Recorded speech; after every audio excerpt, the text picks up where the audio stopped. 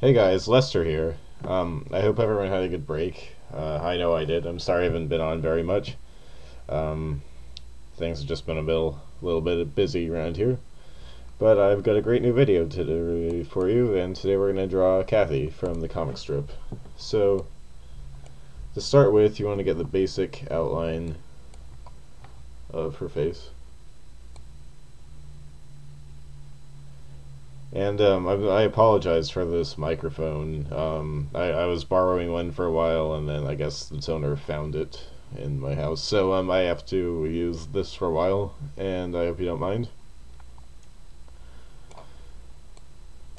So I don't read the comic strips very much. Um, well, I mean that's I mean I like Ziggy. Ziggy's probably my favorite comic strip overall, but aside from that, I usually just kind of skip over it and skip straight to the crossword and, you know, um, do the previous day's crossword with uh, help from the answers. And uh, don't forget her ears, too.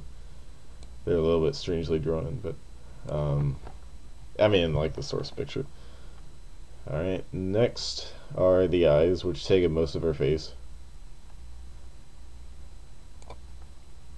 See, I think the appeal of a character like Ziggy is that he doesn't have all these weird, knobbly things all over the place, um, which Cathy seems to.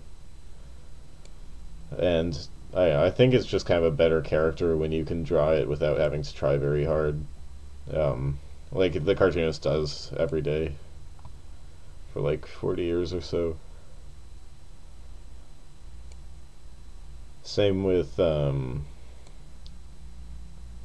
same with Dilbert. Like uh, that one's been going on for a really long time, and I, it just seems like the guy probably could have chosen better characters if he'd known he was gonna have to draw every day forever, probably the rest of his life.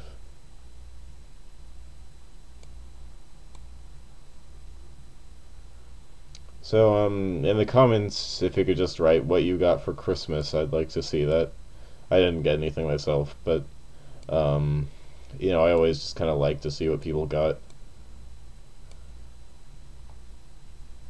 Alright, now these stripes are kind of weird. They, they're, maybe they're like radio waves. I, I mean, I don't read this comic, so they could pretty much be anything as far as I know, but kind of draw them all over the place. You know, got some stripe things coming out of the top of her ear.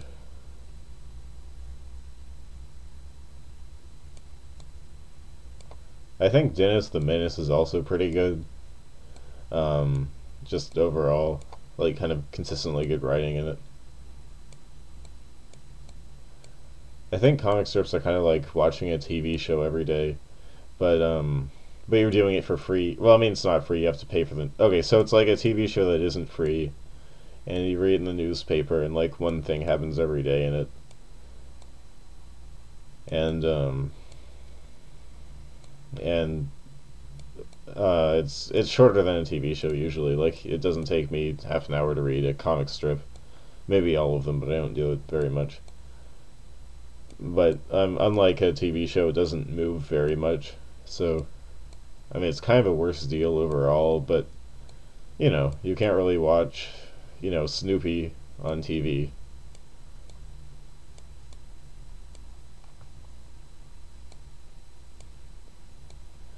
Okay, so finish up the contours on this teddy bear here, which Cathy seems to be clutching for dear life. I mean, I don't know what's going on in this picture, but she seems pretty upset.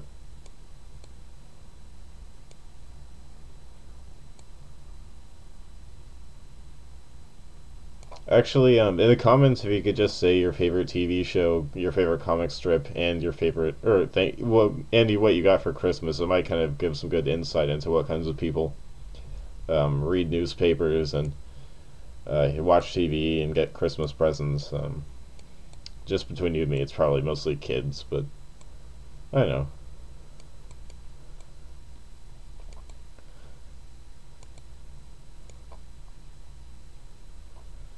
Alright, so to finish this part, we finish up the mouth.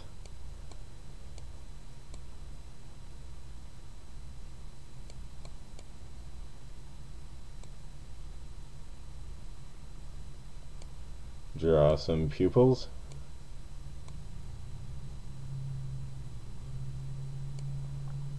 And color the whole thing in. Let's. She seems to be some sort of shade of orange, so we're gonna want to get some orange in there. Yeah, looks pretty good. Um, you know, lighter color for the nose. Got this brown teddy bear thing.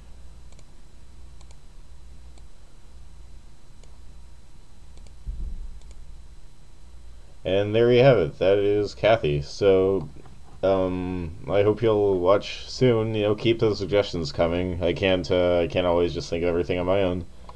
And um, Lester out.